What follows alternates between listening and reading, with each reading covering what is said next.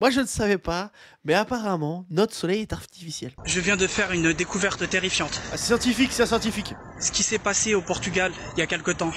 La fameuse boule de feu que Cet tout le monde a pu percevoir en Espagne et au Portugal, qui Ouais. est tombée du ciel.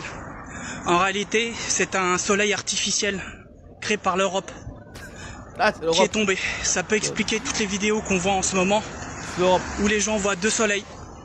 Ça peut expliquer aussi les problèmes de météo, où il pleut partout en Europe.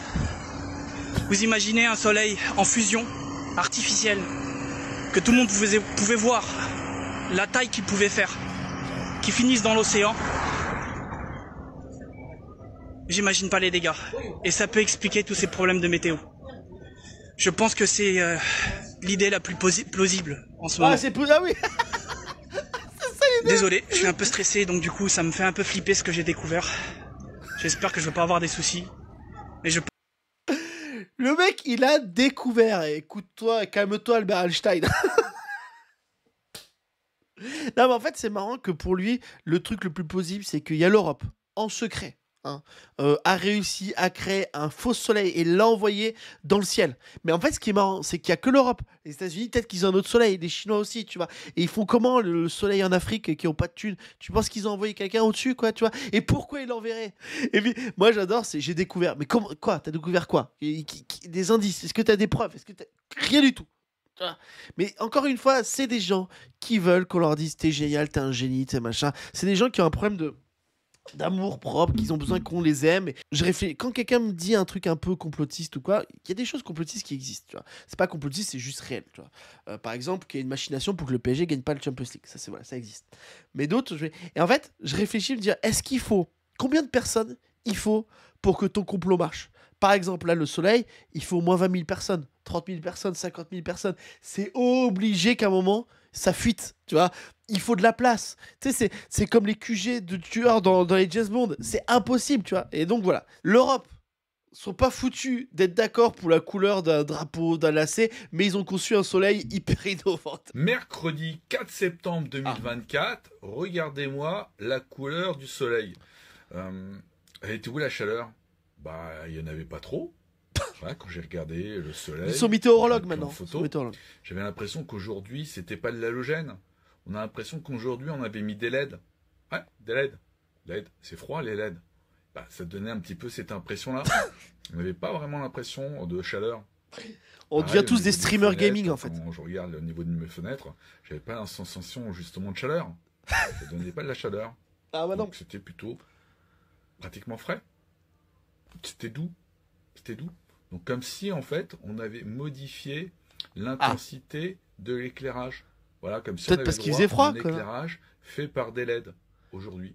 Alors qu'à d'autres moments, d'autres jours, mais quelques jours de ça, ça cognait. hein. Le soleil il cognait. Et là non. Là on avait vraiment la Du coup, les gars, en hiver, quand il y a le soleil et qu'il fait froid, euh, bah. C'est des LED, n'oubliez pas. C'est. Pour moi, en fait, on... le monde est un... dans un bureau gaming. Et donc là, là, le gars, lui, il veut juste dire bah alors en fait, ils ont changé le- la gueule du soleil. Donc avant, c'était une grosse ampoule, et puis maintenant, c'est plus une grosse ampoule, c'est une grosse LED. Voilà, on, on change en fonction. Et demain, ça sera. Et c'est pareil. euh, pour tout ce qui est Eclipse, c'est un, fonctionnaire qui met un carton devant, la euh, devant le faux soleil, bien sûr. Ces gens-là ne doivent pas avoir une vie facile. Tu vois, si ils en sont à là, c'est qu'un, ils se font chier dans leur vie, parce qu'il faut quand même avoir cette réflexion, il faut quand même bien s'emmerder dans la vie, tu vois. Et deux, euh, c'est des gens, encore une fois, qui, veulent qu'on les aime. Et faites des vidéos TikTok, mais c'est ce qu'ils font, tu. Euh, C'est vrai que le soleil, c'est plus un néon UV, c'est vrai. Si j'entends mon épouse.